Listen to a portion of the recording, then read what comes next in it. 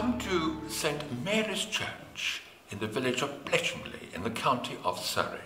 It's a very attractive village astride the A25 trunk road, uh, but there are two motorways uh, not too far away which you might just hear in the distance. I'm not a lover of HDR, that of course stands for High Dynamic Range. When photographing in a church such as this, where you've got enormous contrast, I usually just take a single image, save to RAW, and then make adjustments afterwards in Lightroom. Now with HDR, you're supposed to use a tripod, but I am told that the technology in this setup, the Olympus OMD EM1 Mark II 12 to 100 Pro lens, both units have separate image stabilizers that work together. So it should be possible to hand hold the camera using HDR. Now I must confess I'm a complete and utter novice at this. I've had a practice run at home, but now we've got the real thing. So fingers crossed, I'm going to give it a try. Access to HDR from the EM1 Mark II is from the front button, top plate on the left, where the on-off switch is located. Information is displayed on the screen. Rotate front dial to select a setting. The first two process the image to a JPEG automatically. The others are merged in a computer using Photoshop or a similar product. My objective, as is the case in many churches, is to achieve a correct exposure in a church ranging from a dark interior to a much brighter window. No camera can achieve this in a single image.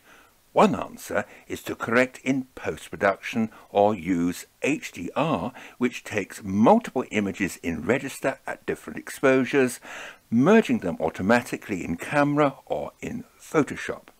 Until now, I have adjusted single raw images in Lightroom. To give HDR a fair test, I am not going to control the camera too much, starting with the metering on ESP with the EV at zero. Multiple images are processed in the latest subscription editions of Lightroom and Photoshop, the latter appearing to be more comprehensive. HDR1 merges three images, HDR2 five. As this was my first attempt, I tried HDR1, combining three images in camera to JPEG.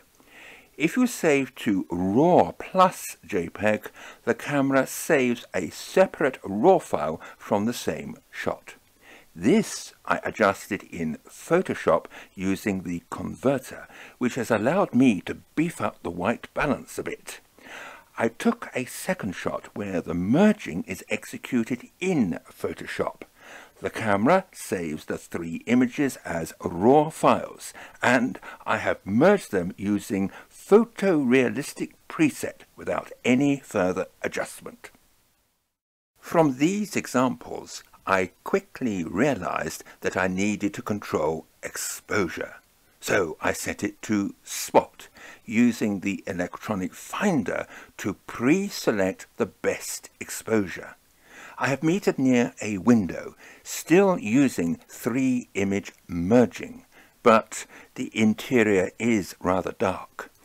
This can be corrected merging the three RAW files in Photoshop. Although the overall exposure is improved, the colours look artificial. Again, I used photorealistic preset for merging, but have now played with the controls. Here are the settings. Returning to the single RAW file saved at the same time as the JPEG automatic version, I have been able to exercise greater control in Photoshop as to how the interior of the church is interpreted Again, I am guilty of enhancing colours by changing white balance, which is not to everyone's taste, but at least it can be changed later. With these examples, I also show the Photoshop settings for correcting a single raw image, my normal working practice. And by taking the highlight slider right down, I can restore the window. This I find more difficult and less successful with HDR in Photoshop. I decided to move on to the 5 image version, by which time the sun had come out, creating greater contrast, a wider dynamic range.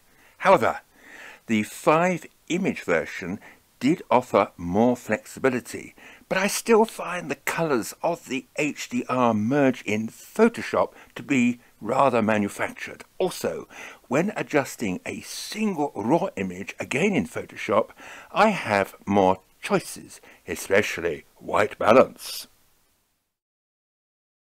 I am not convinced that HDR would replace my current working methods, but as I was concluding my explorations for this production, I checked once more the presets in Photoshop and discovered Scott 5.